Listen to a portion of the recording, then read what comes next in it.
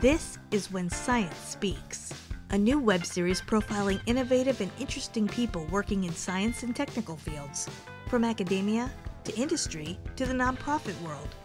We explore how to be a powerhouse advocate for science and your research, how to advance your career in meaningful ways that make you happy, and how to push back on the ongoing assault on science and other related issues of interest happening in the world.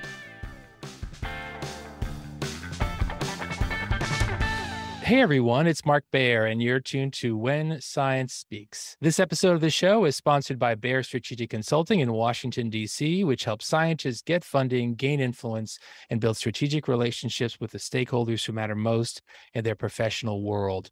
Reaching those goals often involves effective translation of complicated research into engaging jargon free communication that boils down complex topics to capture the attention of decision makers and general audiences.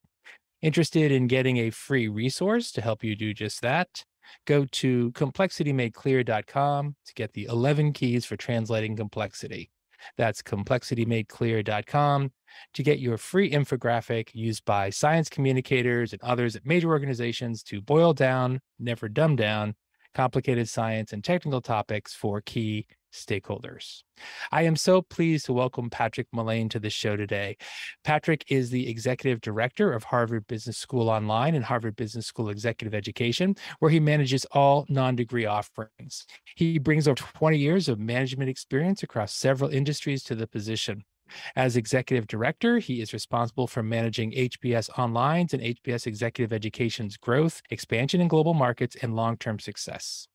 Prior to joining HBS, Patrick was the CEO of Fabrico Inc., an industrial manufacturing company that was purchased by Technetics Inc. in 2014. Subsequent to the sale of Fabrico, he served as vice president and general manager of Technetics' industrial turbine portfolio. Before earning his MBA, Patrick served as a captain in the U.S. Air Force Intelligence Organization. He has also been an early employee of a technology startup managed Kaplan Test Prep and Admissions Washington, D.C. market, and worked for a telecommunications equipment company. Patrick holds a BS in mathematics from the University of Notre Dame, an MS in project and systems management from Golden Gate University, and an MBA from Harvard Business School. Welcome to the show, Patrick. It is wonderful to have you here. Thanks, Mark. It's great to be here. Appreciate the invite. Your excellent book, which is called The Father, Son, and the Holy Shuttle, gives readers a window into your life growing up as a son of an astronaut, Mike Mullane, who was chosen in the very first group of space shuttle astronauts, a group that included Sally Ride. Can you give listeners a sense of what it was like growing up in that environment? Maybe a story or two that you could share about that. And also, what themes would you like readers to take away from your book? Sure. As the title implies, and as you summarize there, it's a memoir about growing up with a father who is doing a very interesting thing and a very intimidating thing at times and a very dangerous thing kind of all the time. And so it has a number of stories that explain, hopefully through humor and through suspense, what it was like to live that life. And I think that a lot of people, certainly if you ask them, do the astronauts have families? People are going to know, of course they do. But I don't think people really internalize what it's like for the families of people who do things, test flying and flying into space. They're obviously flying into space in particular is a very unique thing not many people in the world still can say they've done that. And so not many families can say they've had to deal with what that's like to see a loved one go into space. But the stories are replete with really danger with respect to what my father was doing. He has landed an airplane that was on fire while he was at NASA. He bailed out of a fighter bomber right before he got selected as an astronaut when it was crashing on a runway. He flew three times on the space shuttle one of his launch attempts, engines were shut down and there was a fire on the pad, which when you're sitting on all those explosives is pretty scary. So he's used his nine lives up pretty darn quick and he's still going strong. Hopefully he doesn't template some more. As far as the themes that go, I think it is a that idea that hey, there are people who sacrifice a lot for those who do things like this. I think people can relate that it often I think is harder to see loved ones face danger than to do it yourself. And certainly that was the case, I think, for me and my family. My mm-hmm. father was doing what he was doing. And then the second theme that I hope people take away is you'll see in there real love for my father and a love for some of the things that he imparted to me, number one of which was curiosity about the world. he was always wondering about what was around the next bend and talking about dinosaurs and always looking up and talking about the stars we saw and the satellites we saw going over. And that was a great gift to me. Very interesting. And the book also contains a share of technical language. And you provide up front a list of acronyms and other terms, which is really important and helpful in the beginning. You also do a great job of describing engineering and scientific terms and activities using everyday language that otherwise would be difficult to understand for readers without a STEM background. How have you gone about translating, if you will, these terms into jargon free, relatable descriptions? And maybe if you could describe your approach and any principles that you put to use here that you like to use in your everyday as well. Sure. First of all, I'm not sure I do as well as I could. I recently saw somebody I work with who read my book and said, she said something like, uh, all the space stuff was lost on me, but I loved the story. So maybe I didn't do it as well as I thought. But obviously, if you want to appeal to a broad audience, it's pretty important not to go too deep into the weeds of really deep science and engineering. When I was writing the book, when I was describing a STEM related thing, uh, an animation that might appear if anybody ever made a documentary about the specific topic I was discussing, and then describing what that animation would look like. It seems like a fairly circuitous route to get to where you need to go, but it works. Uh, it works for me. So a great example of that is if you ask people why astronauts are weightless, what do you think the number one answer is? It's that, oh, there's no gravity, which in fact, they're only weightless in a way because of gravity, which is that if you accelerate something parallel to the Earth's surface fast enough, it's going to always fall. But if you make it go so fast that the Earth is starting to curve away from it as it's falling, that's what makes you weightless. Describing that by talking about you know, somebody throwing a ball in a certain direction, they throw it faster and faster until eventually it reaches orbital velocity is the approach I took. And I can envision a cartoon of that in my head while I was writing it. The other thing that I learned, and I'm writing another book right now about learning to fly, and I found it actually more of an issue even in this book, is that you can't let perfect be the enemy of good enough there's a real urge if you're a relatively technical person. I'm certainly less technical than a lot of your guests, but still there's an urge to go down the rabbit hole when it comes to explaining how every molecule might move over the wing of an airplane. And eventually, I think you can lose readers and not achieve your objective. So I really make it a point to go back and read what I've written and say, hey, did I overreach here? And then scale it back a bit if it really gets to the point in fewer sentences with fewer technical terms both are just so helpful. I really like how you talk about what would the animation look like. I don't think that's a strategy that I've heard before. And as you're talking, of course, about the ball, I'm thinking about somebody out there just continually whipping, like windmilling the ball faster and faster. So that's the animation that I'm thinking about in my head. What a great technique to follow as you're actually doing the writing. Many of us, myself included, really take technology for granted. We expect mobile phone, Wi Fi, microwave, streaming video, all these different things that we eye on, so to speak, to just work whenever we want them on demand. You and I had a chance to talk offline, and you mentioned the idea of a tech freeloader as you referenced it.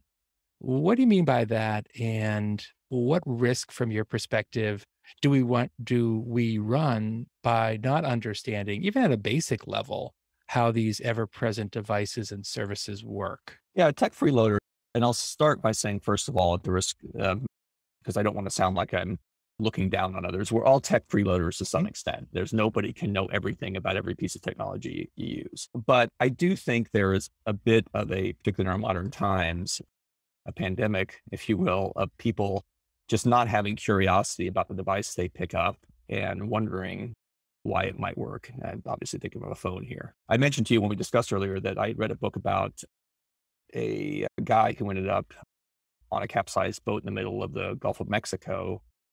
And he had a cell phone with him and was wondering why he couldn't get a signal from a satellite going overhead. And uh, for those who don't know, most cell phones are using cellular towers for their terrestrial base. So uh, if you're out in the middle of the ocean, you're not going to get a cell signal. And that really struck me as something like, how can somebody not know that? Now, again, that's a little unfair because a lot of people just don't stop and think about it. But I think it's really important that people do stop and think about it, even if you don't get the answer.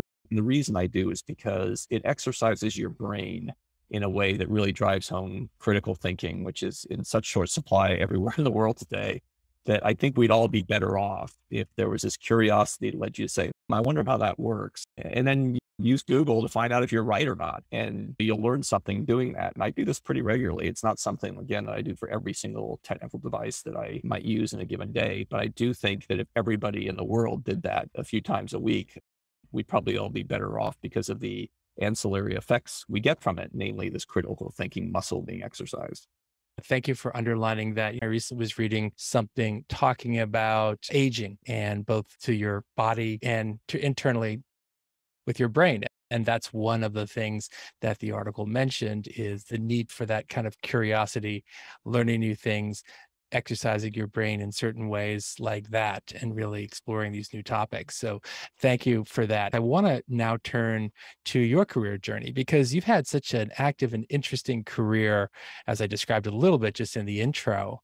I'd love for you to share what is key assets that that you have that have enabled you to be successful in all these diverse industries and most recently in an academic setting. Of course critical thinking we just talked about that's part but maybe talk a little bit more about what specifically you mean by critical thinking and then any other sort of elements of your personal persona that you think have helped you make successful transitions as you really moved all around from industry to nonprofits and academia. First, with respect to the critical thinking, critical thinking to me is really what we learned in elementary school, maybe middle school or junior high school. But the idea of the scientific method, which is having a hypothesis, testing it, and then based on what you learn from the test, you adjust your hypothesis or you come to a conclusion and hopefully adjust your hypothesis. It strikes me the older I've gotten that that skill of critical thinking cannot be exercised or can't even be present without curiosity. So fundamentally, I think that's the starting point.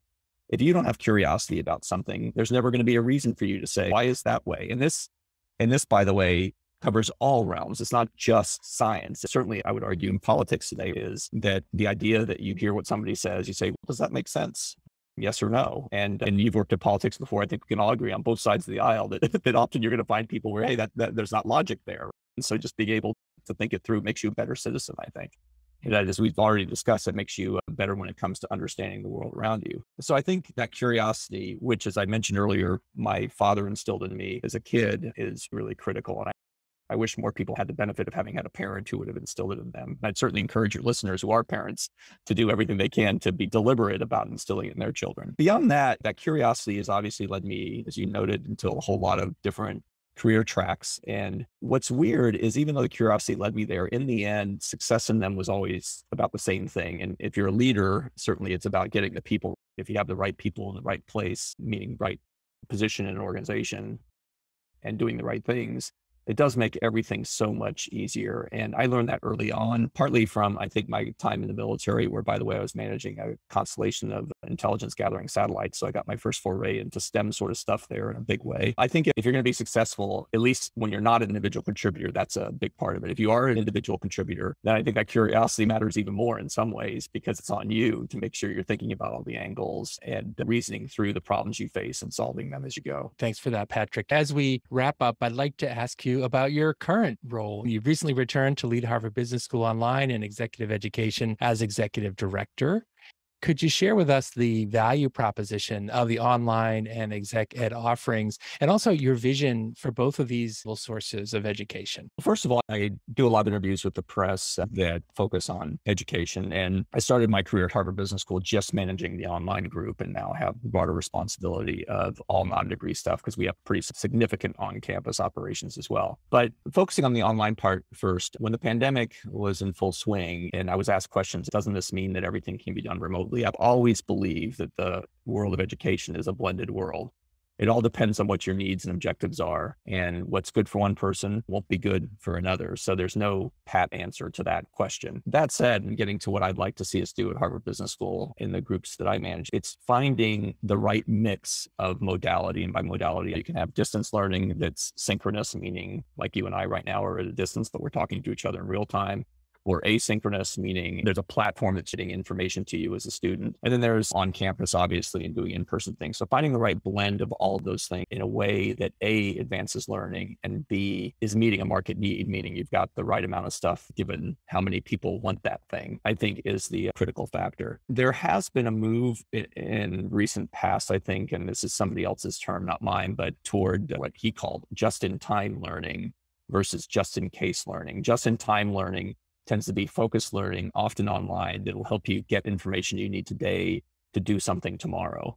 Just in case learning is much more traditional model for those who've gone to a four year degree program, where you often study a broad range of topics. I took theology courses at Notre Dame when I was there, and I don't use theology very much, although it's been very helpful on Jeopardy, which I watch every night. So I do think there's a place for that, though. This idea of a whole person concept and getting a well rounded liberal arts education, I think, can have great benefit. But again, what's good for me may not be good for somebody else. And so the best thing that's come out of the advent of technologies in education is that there's plenty of options and you could choose what's right for you. So I'm very excited about what the future holds. And if I knew where it was going to go, I'd be a billionaire because I would buy all the stocks I know are going to go up. I don't, but I'm hoping to help shape it through my role at Harvard Business School. Absolutely. Pamela, thank you for that. And of course, we'll have a link to the Father, Son, and the Holy Shuttle in the show notes that accompany this episode. Thanks for sharing the, your broad perspective and talking about an experience that, as you pointed out, a very tiny fraction of the population on the planet really has ever experienced, and how you've taken that and shared it with broad audience through your book and through the outreach that you do, and of course the interviews that you do as well. Thanks for being here and also talking about HBS. Thanks very much, Mark. I really appreciate it. I had a great time. Listeners, thanks for being along on this episode of When Science Speaks. And I hope you'll be back next time for the next episode of When Science Speaks. Thanks for listening. Be sure to click subscribe. Check us out on the web at whensciencespeaks.com, and we'll see you next time.